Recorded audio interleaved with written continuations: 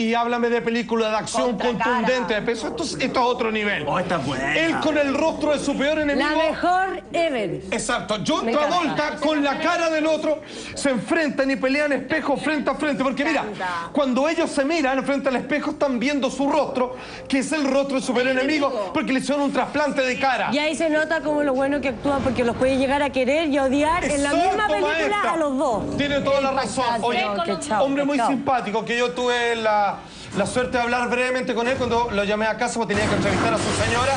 Y por lo menos hablé un par de minutitos con Nicolas Cage. Muy afable, un gran tipo y nada que decirlo.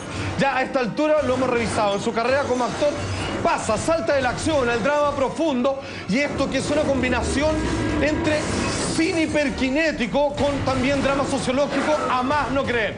Y esto que me dicen también la sal romance, un ángel enamorado. No la vi. tierna, católica. No me gusta esta película. No, esto te pasaste. Oye, esto es un remake de una película alemana que no tiene nombre. Este ángel que está enamorado de esta mujer, Meg Ryan, se suicida en calidad de ángel para convertirse en un mortal.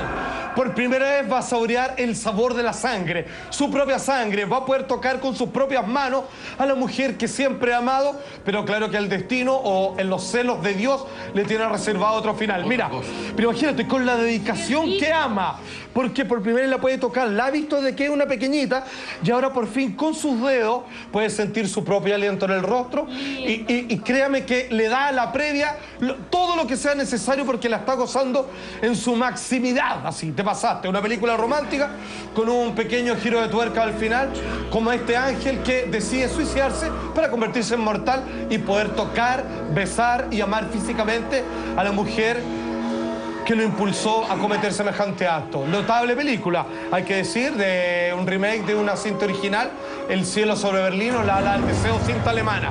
60 segundos. No es raro de cuando en cuando ver a Nicolas Cage tras un volante. En este caso es también un remake de 60 segundos lo que demoraban estos ladrones de automóviles en robarle el auto a alguien, ¿cierto?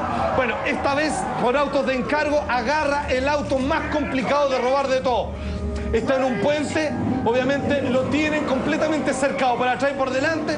Y una de las famosas escenas, una de las más recordadas, por cierto, ver, que ¿no la Nicolas Cage esta película? acelera a fondo y ocupa una de las rampas en este taco para saltar hacia el otro lado. Era el último auto que le quedaba. Era el auto que le quedaba. El Shelby.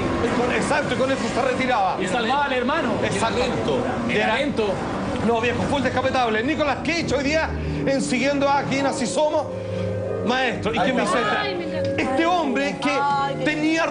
con la, con la esposa, se iba a separar, como la clásico de Charles Dickens, un cuento de Navidad, despierta y le muestran Los Ángeles cómo hubiera seguido su vida si hubiera seguido casado.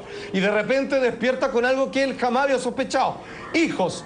Una esposa amorosa que había cambiado con el tiempo y él con mejor paciencia se daba cuenta que si él a veces insiste y trabaja en su matrimonio, le espera una mejor vida que haber abandonado la primera que tuvieron problemas.